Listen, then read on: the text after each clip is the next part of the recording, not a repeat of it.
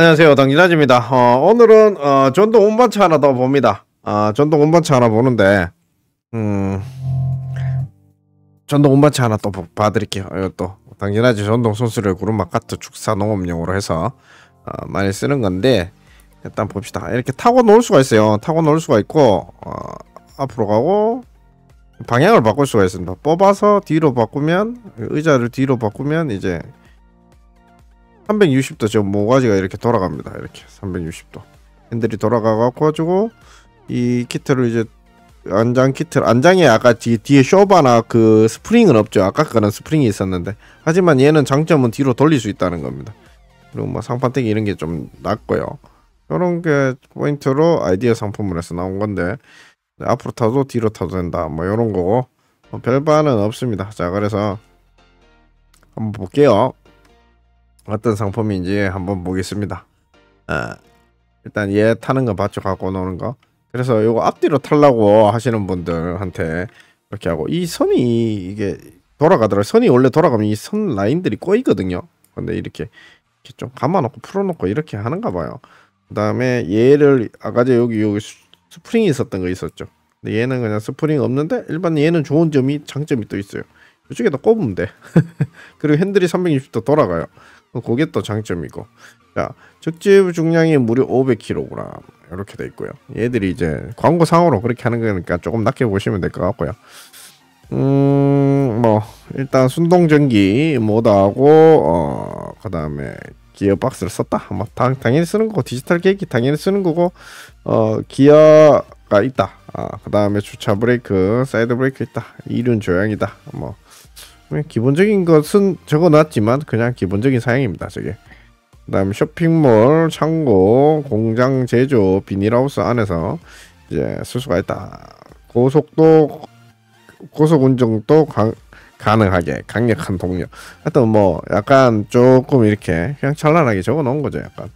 근데 우리 사이즈만 잘 보면 돼요. 길이 120에다가 높이 38 이렇게 보시면 되고 얘 같은 경우에는 500kg, 650W. 뭐 일단 차대 무게까지 합쳐서 그렇게 하는 걸로 알고 있습니다.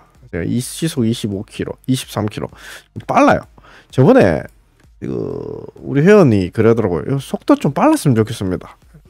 빨리빨리 일을 해야 되는데 느려요, 느려요. 이렇게 얘기하시는 분들이 있어요.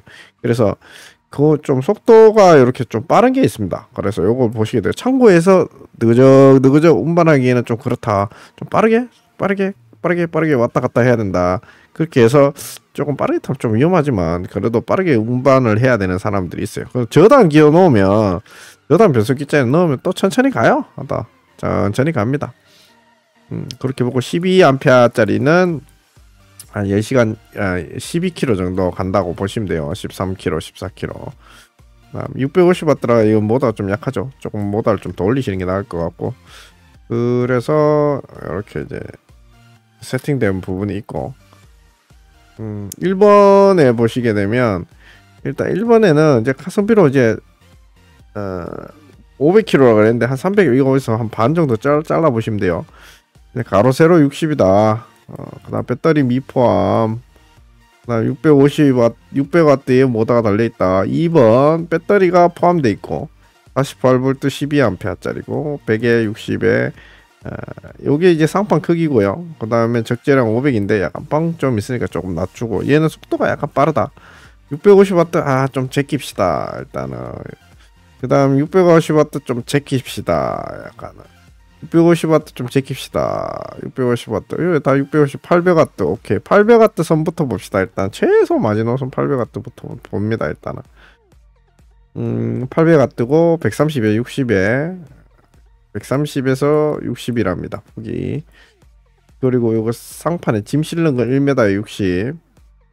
음, 공기압 타이어 12V 48V 12A짜리 10km 정도 간다고 보시면 돼요. 그리고 누가 봤을 때 24km 간다고도 하고 30km 간다고도 하는데 제가 봤을 때 한 10km 정도 보시면 될 것 같고 그 다음에 봅시다. 어, 800W 가로 세로 길이 높이 보시고 제가 만약 살라 그러면 저는 1000W 사죠. 올립니다. 올립니다. 계속 올립니다. 120에 80짜리에 100 광선차 길이는 1.5m네요. 좀 크네요. 그 다음에 배터리 용량은 42, 48V 20A짜리 20km 간다고 보시면 돼요. 12번 아 1200W 이것도 1200W고요. 속도가 약간 빨라요. 근데 감속을 안 해놔서 그렇게 해서 속도가 좀 빠르다. 음. 그렇게 보시면 될 것 같고요. 48V 20A짜리 모터 전력 1200W. 그러니까 얘기하면 이 속도가 우리가 4km가 건, 노인 걷는 속도, 5km가 아, 사람 걷는 속도, 8km가 좀 빠르게 걷는 속도, 10km가 이제 뛰는 속도. 그 다음에 20km가 이제 많이 세게 뛰어 사람이 뛰어도 같이 이 잡지를 못하는 속도입니다. 차 20km 밟아놓고 뛰어오라 그러면 못 잡죠. 그런 속도입니다. 자 그렇게 해서 어, 사용하시면 되고 음 배터리 아주 1000km인데 이게 고지고대로 1톤 1톤이라고 고지고대로 믿지 말고요. 한 반 정도 줄이셔가지고 너프하게 보시면 됩니다. 그렇게 보시고 반에 한, 한 600, 700은 가겠죠, 그래도. 어, 평지 기준으로 얘기하는 겁니다. 평로 기준으로 얘기하는 겁니다. 평로, 평로, 평지 기준으로. 자, 이렇게 돼 있고, 여기서 골라서, 어, 본인이 이제 이동 수단으로, 운반 수단으로 사시면 되고요. 관세 배송비는 별도고, 관세는 인천 세관에서 나오고요. 직접 전 휴대폰으로 갑니다. 배송비는 CJ에서 나옵니다. CJ에서 나오는데 제가 봤을 때 이 크기에 따라 다 달라요. 용량이나 배터리에 따라 다 다르나 한 뭐 한 15에서 많게는 25 그 정도 어, 아, 제일 많이 큰 거는 한 30 정도 보셔야 된다.